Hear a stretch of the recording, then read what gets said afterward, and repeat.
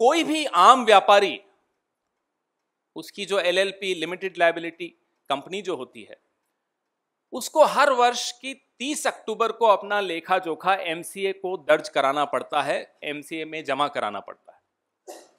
ये कानून, ये नियम राजकुमार जय अमित शाह पर नहीं लागू होता। डायनेस्ट है, वंश है बहुत शाह वंश है। राजकुमार अमित जय शाह 2017 में नहीं जमा कराते 2018 में नहीं जमा कराते।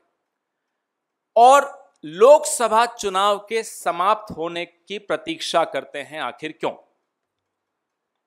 लोकसभा चुनाव मई में संपन्न हुए, अगस्त में जाकर वो पिछले दो तीन साल का लेखा जोखा एमसीए में उनकी company Kusum Finserv LLP Kusum Finserv LLP अगस्त 2019 में जाकर वो एमसीए में अपना लेखा जोखा, अपने अकाउंट्स सबमिट करते हैं।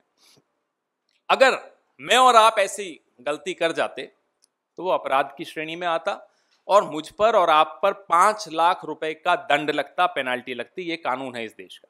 लेकिन राजकुमार पर कानून नहीं लागू होता।